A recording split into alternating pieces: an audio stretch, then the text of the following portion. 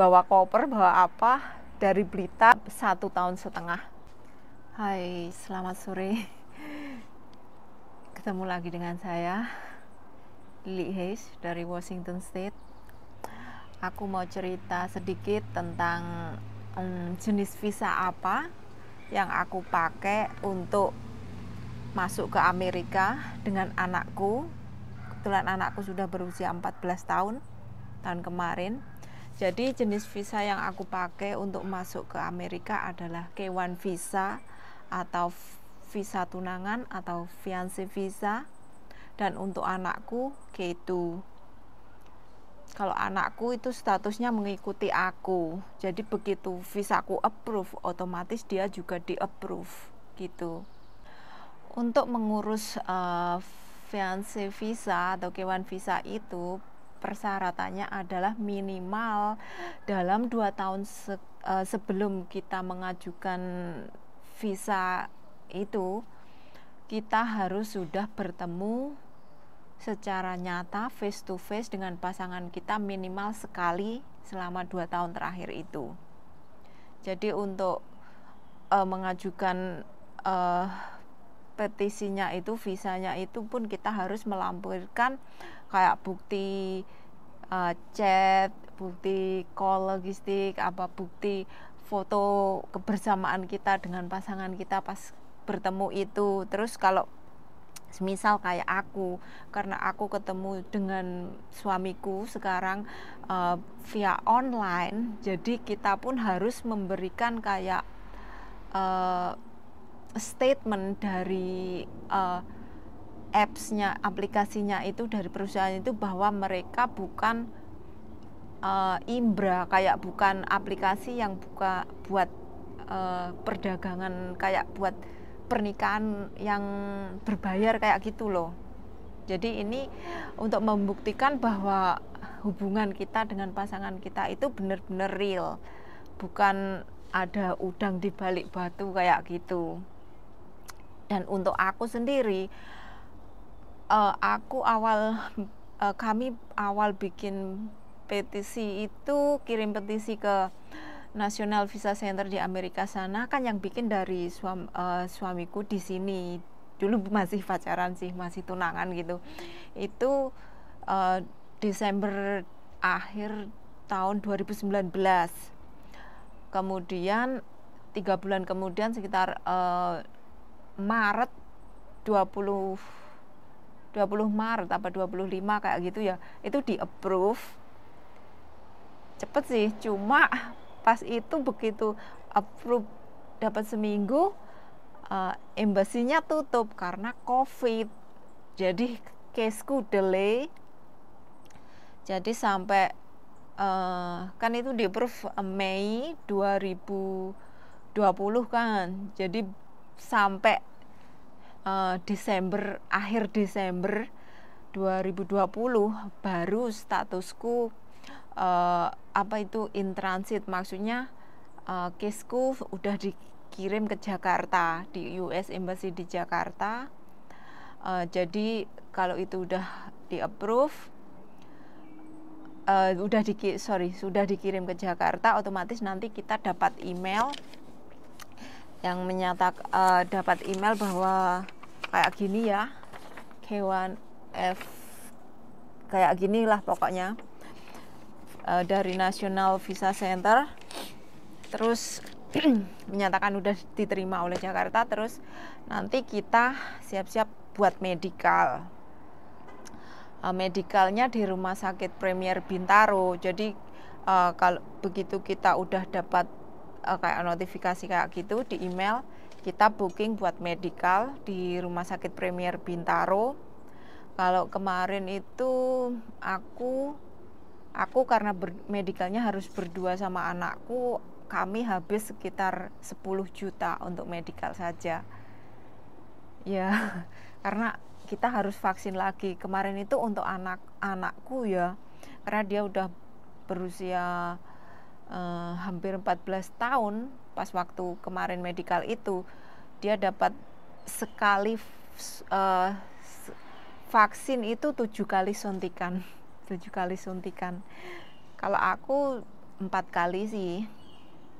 Tapi syukurlah dia nggak demam nggak apa-apa. Karena selesai medikal kita langsung balik lagi ke Blitar langsung. Jadi untungnya di kereta kita naik kereta lah dari Jakarta ke Blitar maupun dari Blitar ke Jakartanya kita naik kereta untungnya anakku nggak apa-apa uh, jadi uh, saya sarankan kalau medikal itu dekat-dekat dengan uh, jangan terlalu jauh jaraknya dengan waktu interview karena uh, masa berlaku visa kita itu kewan visa itu di uh, dihitung dari tanggal medikal kita itu.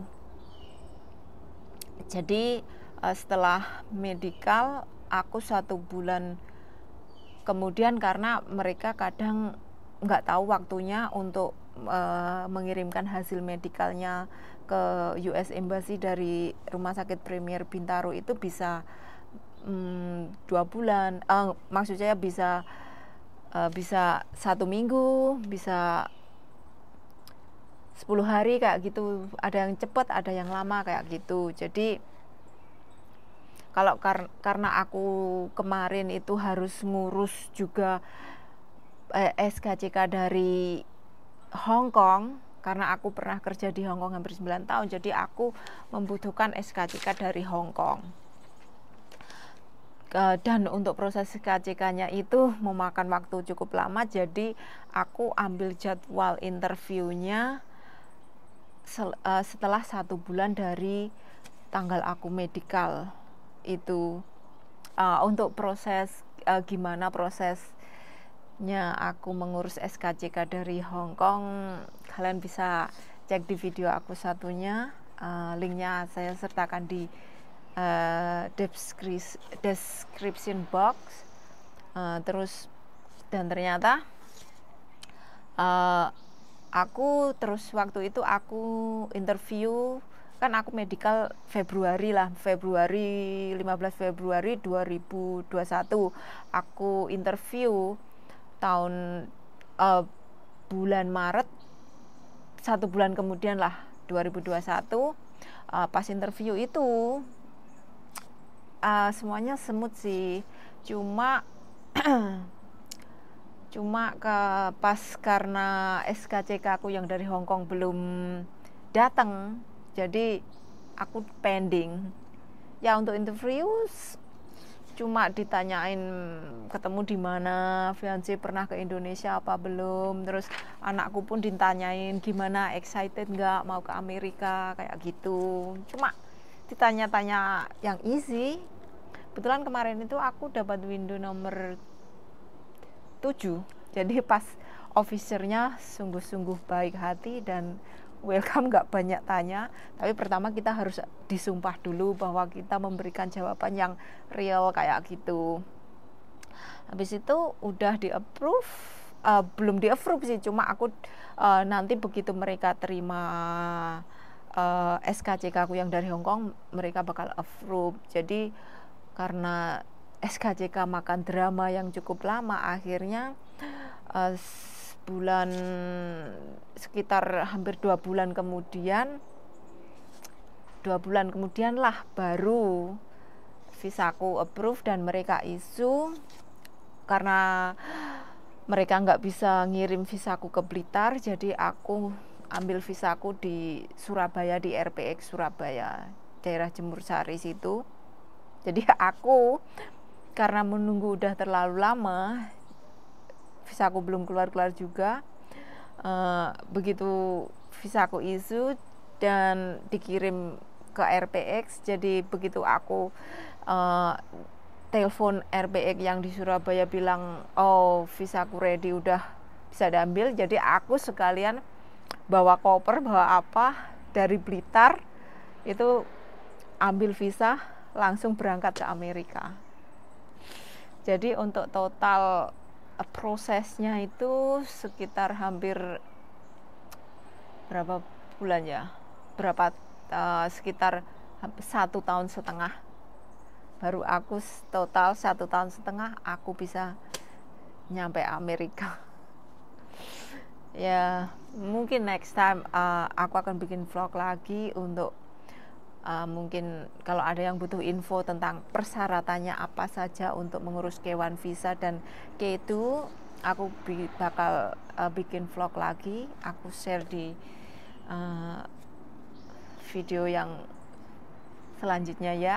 Uh, atau mungkin kalian butuh info atau ingin bertanya-tanya tentang silahkan komen atau bisa DM di ID ku ya.